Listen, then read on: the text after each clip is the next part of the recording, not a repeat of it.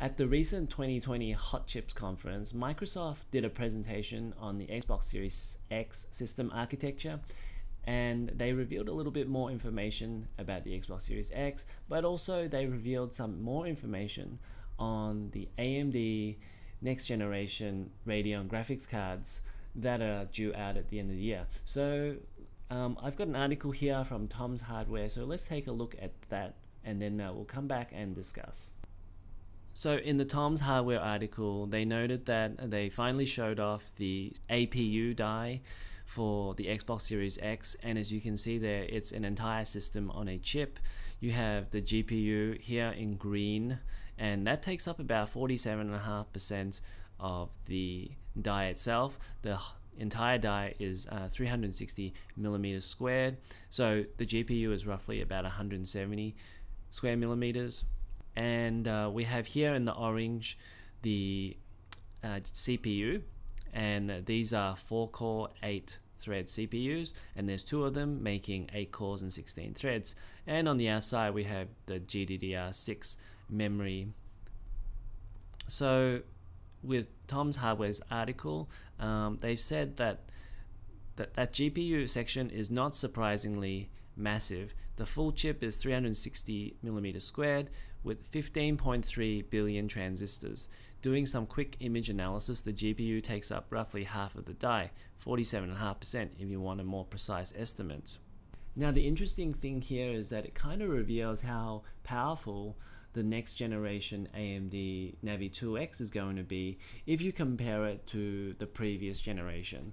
So if you compare the GPU information from the previous generation, the Navi 10, to the Navi 2X information for the Xbox Series X, uh, then you can work out roughly what the performance difference is uh, going from one generation to the next in terms of the architecture.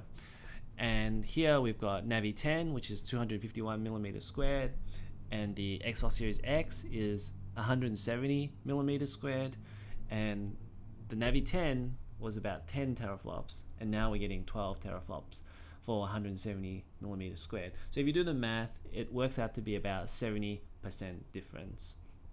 And I think that's one of the reasons why we are seeing Nvidia put out GPUs, at least going by the current rumors, anyways, that they're putting vastly uh, better GPUs than they did last generation between um, GTX 10 and RTX 20, um, which is one of the main reasons why they did a uh, midterm upgrade with the RTX 20 supercards. Uh, so this is pretty huge, and I think we kind of knew that already because there were rumors that AMD were going to have a 72 compute unit graphics card, and if you did the math on that, that would have been about 16 to 17 teraflops, which is kind of where um, the 3080 is supposed to land in terms of performance. Now we have another interesting slide here and it goes into the cost of the die itself. And uh, let's just run through this. So they say the Xbox One had a die cost of a, a dollar or 1x basically. And we know uh, from if we look online we can see the Xbox One with the bill of materials. That die probably cost around $110 uh, given uh, estimates from uh, back then and the Xbox One S was dollar minus, so it's going to be roughly about $100 as well.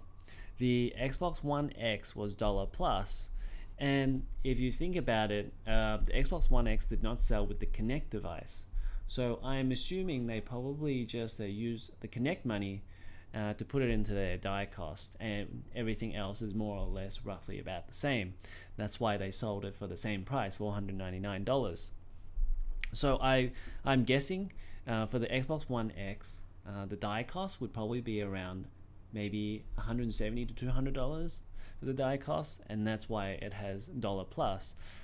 And now we get to the Xbox Series X, so dollar plus plus would have to be about 250 to 300 dollars. Now that tells me that the the whole system uh, would probably cost around 450 to 500 dollars. Now there have been reports that the Xbox Series X has um, a bill of materials about 450 dollars, and this kind of uh, tells me that they're in the right ballpark.